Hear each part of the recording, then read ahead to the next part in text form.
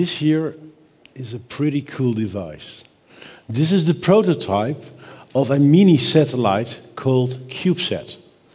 And when I was young, space was something way out of my league. It was pretty expensive, actually unaffordable. It was hard, it was complex. It was something for people uh, like astronauts, the NASA, the military, maybe. But that's not true anymore. Because of the co convergence of technologies, uh, space is actually becoming pretty affordable.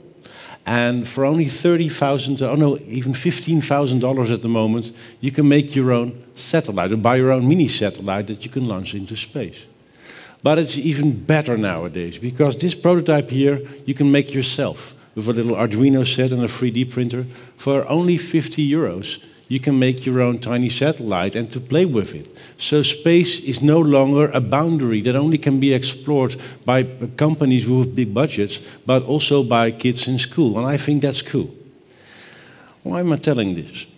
Well, um, in a lot of fields, things uh, are becoming far more cheaper, easier than ever. And when you see websites like Instructables.com, I don't know who is familiar with Instructables already?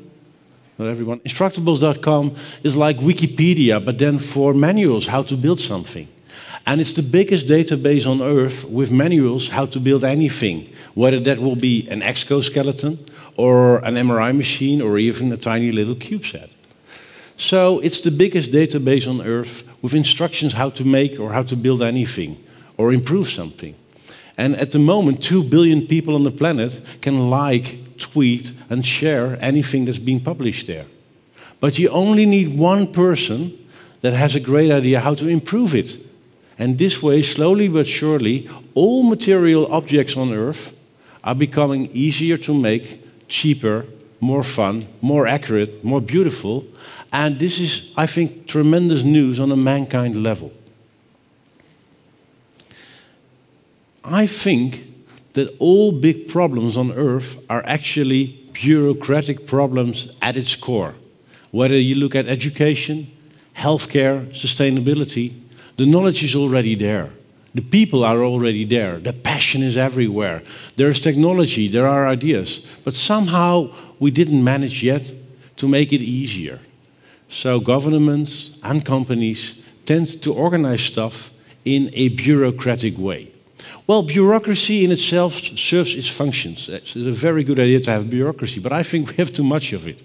And now, in this age where information is freely accessible and available to everyone, the way bureaucracies function or don't function anymore are not always the best solution to accomplish something the main tools of the bureaucrat are money and paper. And there's a mystic bond between those two somehow. Every time you want to accomplish something in a company or in a government, people tend to think in terms of money. It's called budget over there, it's like slang. And uh, if you need budget and you go to the guy who's in charge of the budget, the first thing they say is, Can you put something down on paper? Which slows you down and um, and even you might even uh, need a business plan. Before you know it, you spend a lot of scarce time on this planet producing paper in order to get some money. Uh, I think that's not a very wise idea. Well, there's another thing with bureaucracy.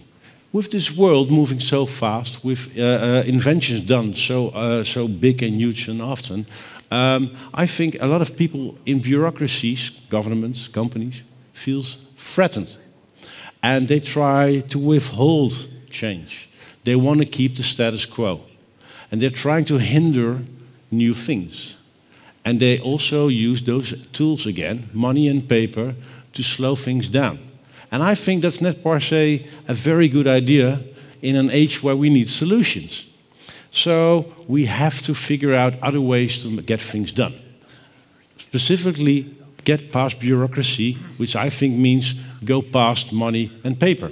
The good thing about that is if you don't, uh, you can start immediately. If you figure out a way how to do things without money, you don't uh, have to wait until you have it, so you can start straight away. Also, you don't have to quit when you don't have money anymore because you didn't use the money anyway. In order to do that, you have to be resourceful in deploying the resources that are abundantly there. And technology in this network and information age is helping us finding that faster and easier than ever. This is the way Wikipedia worked. So 200,000 people worked together to create the biggest, the best encyclopedia on earth, making the Encyclopedia Britannica obsolete. Even if you could afford an Encyclopedia Britannica, most of the times that you wanted to know something, you were nowhere near those books because they were at your home while you were taking a walk. In the upcoming five years, five billion people on the planet have access to the biggest encyclopedia on earth. I think Wikipedia is social swarm technology enabling altruism on a very big scale. It hasn't got to do anything with traditional economics. It's because we can that we're building this and everybody can benefit from that. In my work as a boardroom consulting uh, uh, uh, consultant, a boardroom sparring partner, uh, I, I, travel across the world. I speak with a lot of boards of governments and companies. And most of the time they phone me because they want to set things in motion. And they're obviously not very good at it. They're also very careful and shy on set things in motion because they don't want to take risks. And uh, because, yeah, if you spend a lot of money, you don't know the outcome, that's risky. And people, especially CFOs, don't like risks. Um, and then I say, well, you can't go past all those fears. And I call it my holy trinity of beating bureaucracy. is actually pretty easy. The only thing you have to do is to bring together people, information, and ideas in a different way. People, information, ideas. You need all of them. Ideas are worthless. You, if you want to uh, uh, uh, change something, you have to materialize ideas in the here and now. And to do that, you need people you don't know, and you need information you don't have. And again, in this network and information age, people and information are easier to find than ever uh, uh, and this is also true for people with no experience and no money and no degree at all. So this is happening worldwide in a tremendous pace. So I had a great talk, uh, I think six months ago, with a general of the, of the Dutch army. And he complained to me, I want to set things in motion and I want to innovate, but I don't have budget. And I started to laugh. I said, Yeah, that's your problem. You still think you need money. Are there any nerds here in the room? Proud to be a nerd? Yeah? Pretty cool. So, what's the one thing that the Ministry of Defense, the Army, has that they could get, uh, give away for free? Well, it, it tends that um, on the bucket list of most of the 50,000 uh, enthusiastic uh, ICT nerds in the Netherlands, most of them want, want once in their life, they want to be underwater in a submarine or they want to fly a fighter jet, or want to be in an Apache helicopter. This is like the dream of the typical dream of a lot of nerds. Well, you cannot buy that anywhere because it's not for sale. So the one thing that the Ministry uh, of Defense has is access to this stuff. But they never thought of it as a resource that they could actually deploy. I travel a lot, and I, uh, I, one of my favorite continents is the continent of Africa. And uh, they have a lot of challenges over there.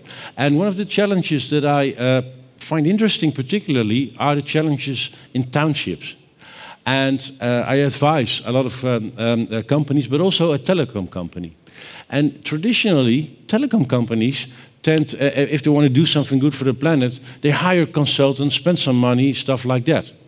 But what is the one thing that a telecom company has plenty of, really abundantly? it's data, it's broadband, because it's just hanging in the sky. You can just tap into it, no problem at all. So if they could identify the 1% of the kind hearted entrepreneurial spirits in the townships, and they could enable them with uh, free data, which doesn't cost them anything, they can set things in motion. Because if those people that are well connected are doing great stuff, they can educate themselves, connect with other solutions and entrepreneurs across the world, and then things start moving faster in those townships. You don't need money for it, you only have to give them access to something that's already free broadband to them. So I think we have to change the way we deal with money. I don't think we should use money as the main resources if we want to set function in motion. I think we have to go past the money part and figure out where are the resources we actually need to, to deploy something. If we do this, I think we can narrow or bridge the gap between a civil servant, from a governmental perspective, and, um, uh, and the citizen.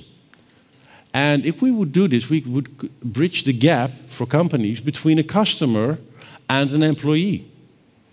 Because if you can identify, and technology can enable that, the 1% of your customers or your civil servants that actually are able to do something which is far more valuable than the stuff that you're trying to buy now in the market, well, it's a good idea. Because if you can set things in motion without money, if you can innovate without money, you can innovate without financial risk. And if you can innovate without financial risk, you can innovate without fear. And if you can innovate without fear, everybody can jump in and contribute. And I think we need to fix that. You have to focus on people, information, and ideas. You have to use technology to figure out where they are, and you can start straight away. And in, if we fix things this way, well, I think uh, we don't have problems anymore. Problem, uh, the word problem is a very popular word amongst uh, uh pessimists. And at TED, we like to call problems, of course, challenges because we're optimists. Since half a year, I don't use the word challenge anymore. I use a better word. I use the word puzzle because I love solving puzzles and what happens when you call things just a puzzle. So all the challenges on earth are actually just puzzles. And all those people together, solving stuff on instructables.com, solving stuff on Wikipedia, they're actually solving puzzles. And every puzzle that's being solved will be a piece of a bigger puzzle, which will be the piece of an even bigger puzzle. Whether it will be seaweed, exoskeleton, or whatever. So I think we live now in a days where we can playfully find other people that can contribute to puzzles. That has nothing to do with, with business or making money and stuff like that. And I bet that even gravity is just a puzzle that we didn't solve yet. And actually, there's a Dutch professor, uh, Erik Verlinde in Amsterdam, who's on his way fixing gravity because everything we thought about gra gravity is wrong. So I think the upcoming 10, 15 years will be one of the most amazing moments in time where everybody can contribute to puzzle. So one more thing. Whatever you were planning to do tomorrow or on Monday in your working life, don't. Don't do it alone. Because there's always somebody you can find who is better at it than you who has far more experience in what you want to achieve, has more access to information and even better ideas than you have. The only thing you, you have to do is dare to ask and using all the platforms that are already there. Because we're trying to fix things ourselves, and that's not a very wise idea. The most important lesson that I learned in uh, accomplishing uh, stuff is that every time you dare to ask and somebody says no, it's never about you. And if you, somebody says no to you after you ask the question, you can always ask the next question. Why? And then you learn something new. Happy puzzling.